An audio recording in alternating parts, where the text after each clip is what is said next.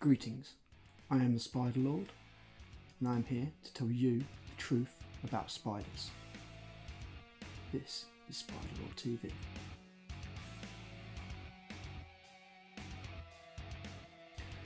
Okay, so welcome to Spider Lord TV. This is a uh, new YouTube channel I'm launching, designed uh, to be an educational show about spiders, primarily uh, designed to teach one thing spiders are not dangerous.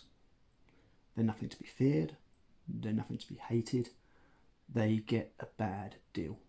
And throughout the course of this series, hopefully, that will be something that becomes apparent and you'll be educated, enlightened, and reassured. Uh, along with this main show, Spider Lord TV, I will also be doing the Spider Lords A to Z, um, as Spider TV will primarily be focused upon British spiders.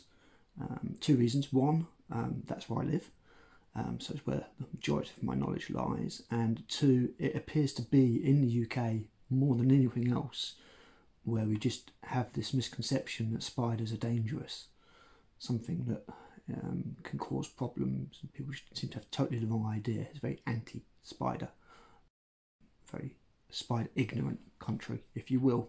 So I think that's where the most work can be done. Uh, however, the Spider Lords A to Z will allow me to feature things that will not be in the normal program, as obviously there are thousands upon thousands of species of spiders that are uh, outside of the UK.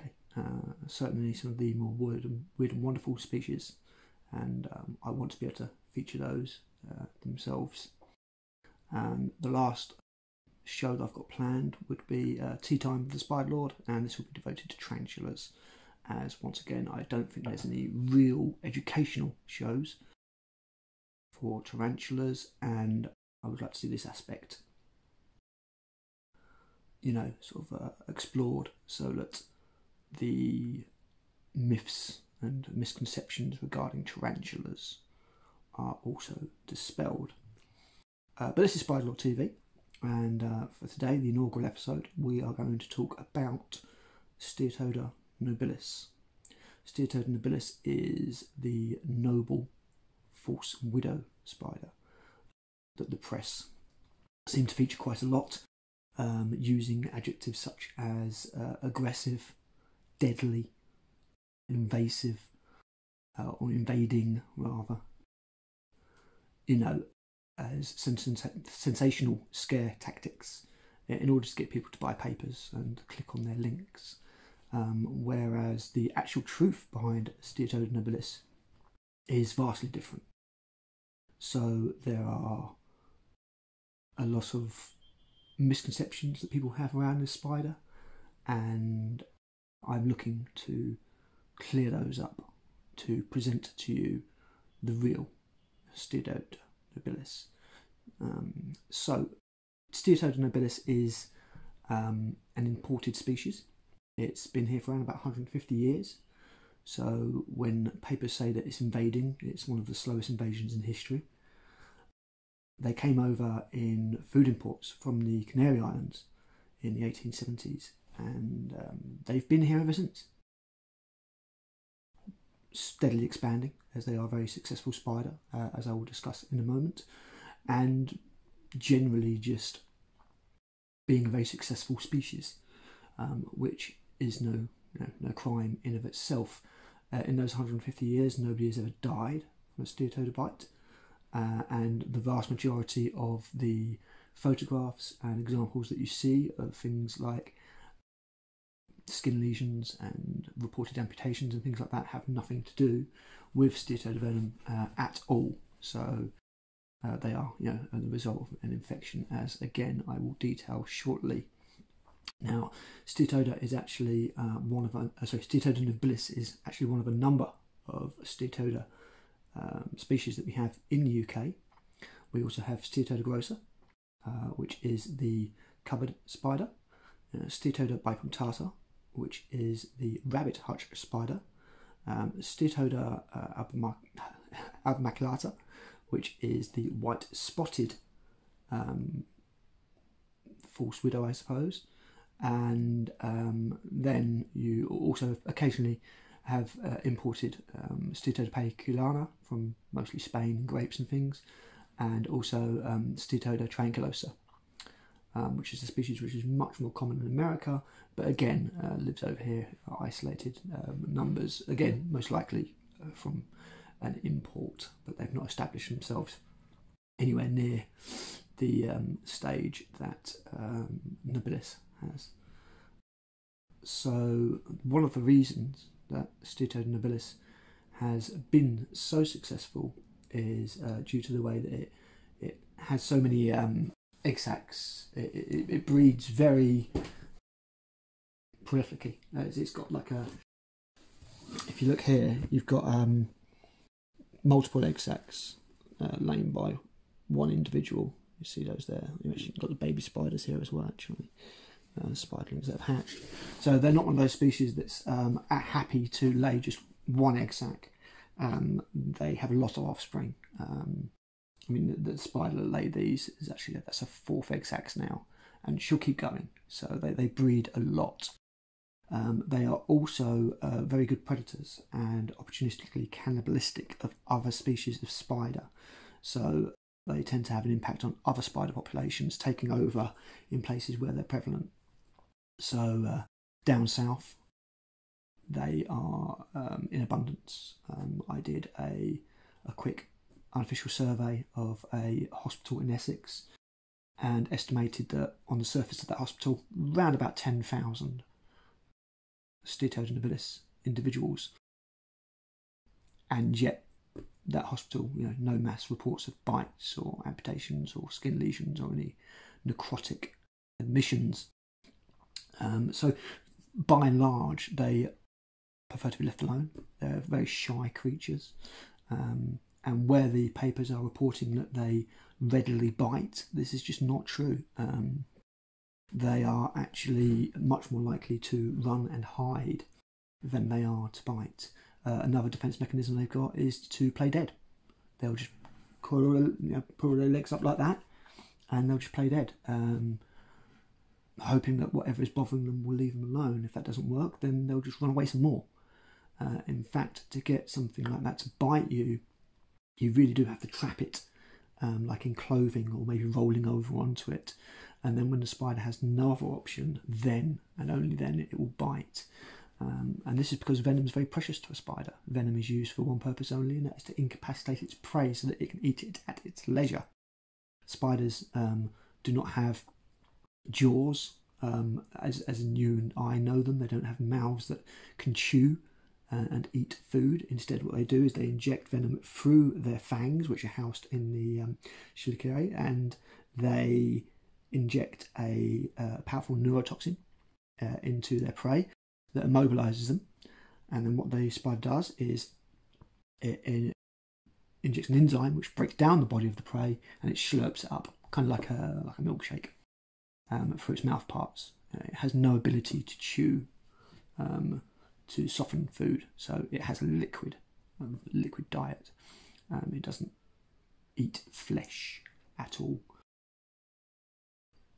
and that, that's how that's how they eat. And anything that falls into a steatoda web's uh, web is game, be it another spider, wasp, crane fly, other fly, any kind of pest, ladybird, beetle, they spin a very, uh, as you can see here, again, a very uh, a very messy web. They're not an orb web species, so they spin a cobweb of lots and lots and lots of sticky strands, so that anything that falls in gets stuck fast, and then the spider will just come out and grab it, um, just in case the prey is able to escape, and um, it will grab it and uh, immobilize it uh, with its venom, and then it will use that to uh, subdue the prey uh, because they don't really wrap their prey up like um, like an orb web species. So their venom is used for that purpose only. There's no point in using it on uh, things that they can't eat. Uh, so they're very, very reluctant to bite and inject venom unless they absolutely have to as a last resort. Now, um, these bites that we are seeing, or these wounds that we are seeing, and it is worth um, remembering that there are many, many, many more things that can bite um, uh, a human and inflict a, a bite. um, than spiders. In fact, there's probably about, I would say, 20 species of spiders out of the 650 or so we've got in the UK that can um, that can you know successfully bite a human. Um, whereas the list of you know flies, midges, and mosquitoes, uh, not to mention other crawling insects that can that can inflict a bite, is uh, huge in comparison. So if you don't see a spider actually biting you, you won't know what the bite is. Nobody can tell from a bite what exactly uh, has inflicted it. Um, so these these cases where you see um, lesions and, and, things like that could be any number of things. Now I have actually been bitten by a Steatoda nobilis. I made the spider bite me to document the effects, uh, and I did this just to you know see what the effects were, see what the symptoms were and um, I, it was quite hard to get the spider to bite me. I had to push the spider down onto my flesh to get it to bite me on my um, on my left forearm, uh, and the symptoms were as follows. So there's a little bit of pain, not a lot, uh, certainly no worse than a bee sting. Um, there was a little bit of swelling, uh, minor swelling in the area, and uh, there was a lot of itching or pruritus. Uh, and this is what I think causes the main problem: um, is that people scratch the bite because it is very itchy, uh, almost like a gnat bite and uh, this, this basically um, opens up the, the skin to infection because you're you're breaking you know the skin you're you're scratching and making an open wound. And this allows um, infections such as cellulitis or any other number of um, skin you know, staph, staph infections to take root. And then these can cause uh, big problems uh, lesions and pus and uh, open wounds that will um, need treatment and will look very closely uh, like these reported steatoda bites, but um, the actual symptoms of a steatoda bite are not necrotic in nature. In fact, one of the over, uh, other symptoms that I would have um, sort of reported on, on myself was actually a, a strange clamminess. Lasted for about 48 hours, which is the neurotoxins at work. And uh, yeah, the, the, bite area was very clammy, very odd, very odd sensation, for around about, yeah, about 48 hours. Um, so steatoda just uh, you know they, they, just don't have these necrotic properties to their venom.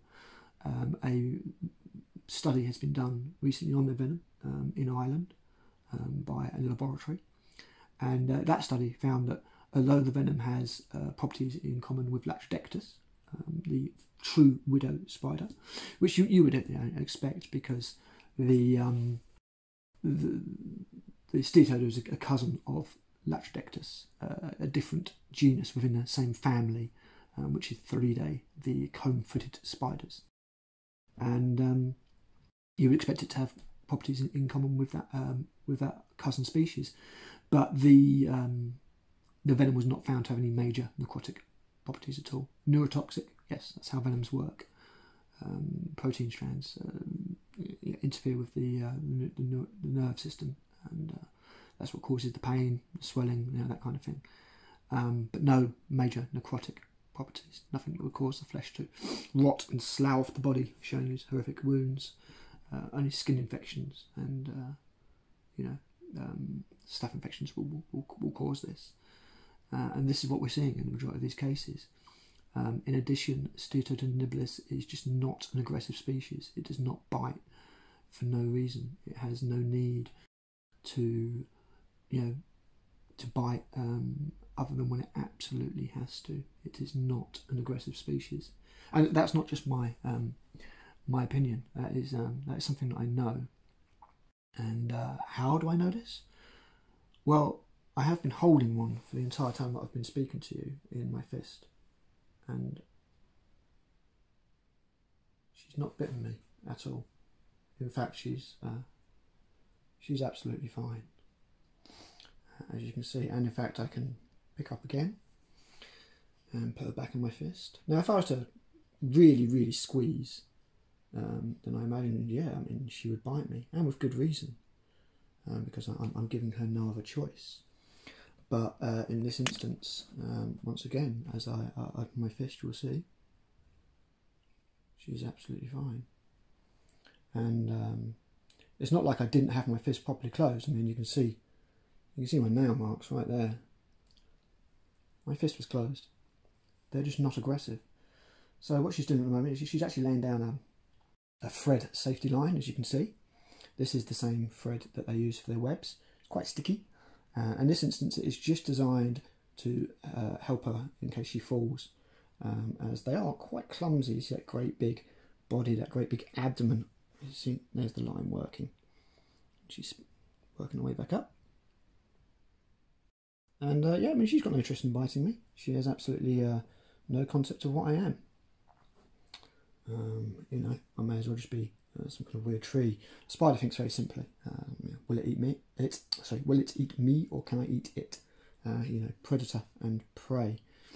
Um, that, that, that's it really. You know, they they don't think about anything else. They just want to go around making lots of baby spiders. And she's she's getting tangled up in her own web a little bit here. But uh, as you can see, I mean, I can poke her about a little bit, and she just wants to run away. You know, she's not. You know, uh, what I would comfortably say is, is you know, sort of bothering a spider. It's, that's not an aggressive. That's not an aggressive spider. I mean, just look at it. It's it, it's just not aggressive. So um, this is the real Steatoda nobilis, as you can see, perfectly benign um, species. She laid these uh, egg sacs here. You can see the skull marking on the, on her back, or what people say looks like a skull. It can't look like a skull, but as you can see here, it's nearly entirely uh, missing, and um, you know, uh, there's, there's not a great deal there at all. Um, she's got this kind of remotely uh, sort of reddish legs here. The males have much more pronounced reddish legs, uh, and also a, a, very very dark, almost black uh, subthorax, which is the uh, the area here which contains the body, um, the, the thorax and the head, uh, and then you've got the abdomen at the back here, obviously. Um, but as you can see, she's not she's not overly bothered in the slightest. She's uh, quite calm, just wandering around, doing her spiderly things. So uh, the next time that someone tells you that this species is aggressive and uh, dangerous, I would just ask you just to, um, you know, bear this video in mind.